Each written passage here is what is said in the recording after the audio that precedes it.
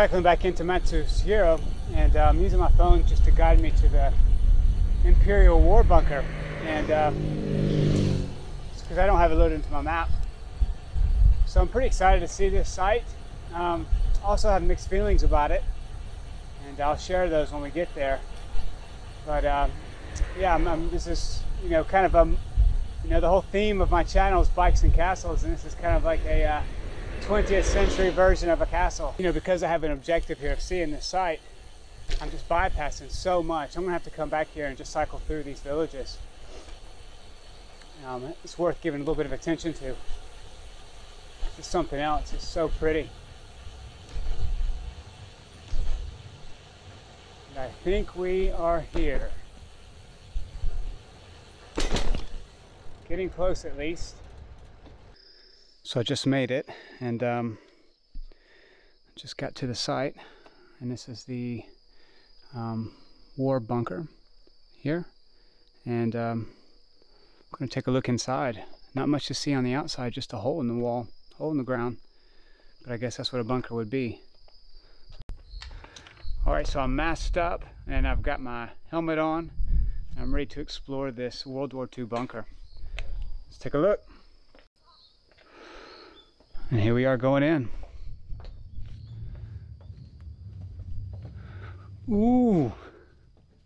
Tell right away it's freezing in here. Sweating from the climb. Gonna catch pneumonia. Hey, but I got a mask. I see why they get you to wear a helmet. This roof is low. Insane, man.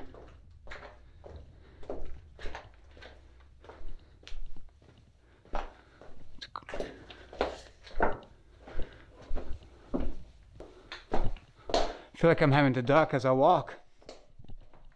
And here we're at the end of how far you can walk in these tunnels. And I've been walking probably for 10 or 15 minutes. And uh, it just keeps going. It keeps going. You got gated off here, gated off here, gated off here. And these tunnels just cut in through the rock. And um, I think it's seven kilometers of tunnels. I'll have to go back and check that. But it's just crazy, man. This is nuts. And uh, yeah, I don't know how I feel about it, to be honest. And I'll, I'll talk about that in a minute when I get out of these tunnels. But it's, um, you know, it's just modern day castles, isn't it? After walking around for about 20 minutes in the dark, finally back to sunlight.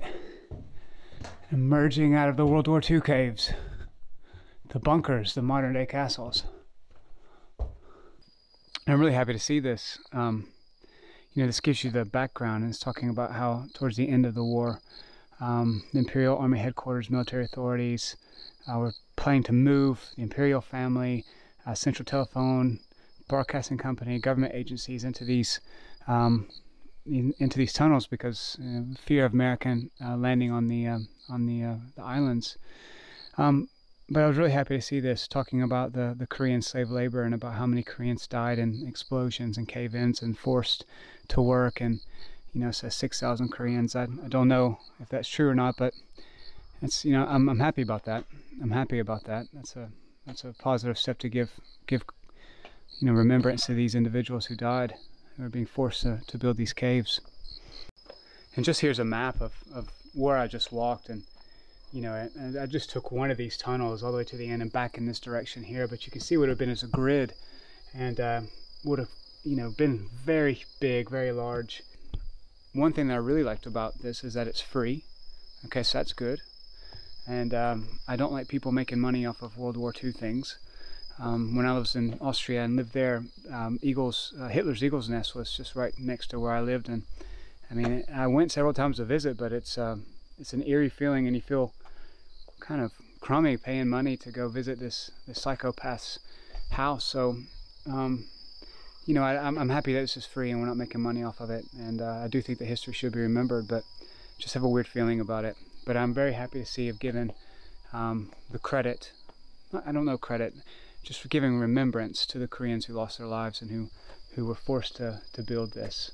So, um, yeah, if you're in Japan, if you're in Nagano, if you're in this area, I encourage you to come visit it. Not, it's just holes in the ground, but it's just what it represents. And um, it's good to remember just how violent of a species we are and, and uh, just a little perspective on things in life.